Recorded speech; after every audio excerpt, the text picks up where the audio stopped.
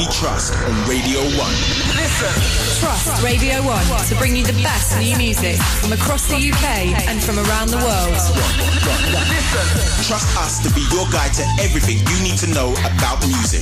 This morning from 5 a.m. Annie Nightingale. Join me, Annie Nightingale, with the best in breaks. In new music we trust on Radio 1. In new music we trust on Radio 1. Now, Essential. The world's best DJs. Hello, my name's Mr. Scruff. This is Carl Cox. This is Thunder T.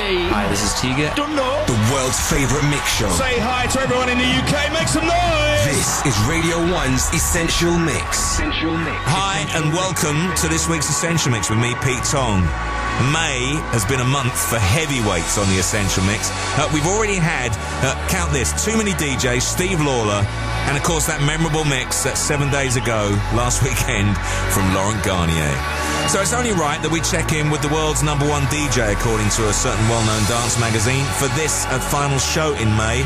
He runs the mega successful Armada Music and the equally popular A State of Trance radio shows. His solo gigs regularly sell out 16,000 capacity arenas, and he's about to kick off a six-year at Amnesia in Ibiza on Tuesday nights. And we last heard him, believe it or not, on the Essential Mix when he joined me to celebrate 15 years of Cream in Liverpool in 2007. I can't believe it's been that long.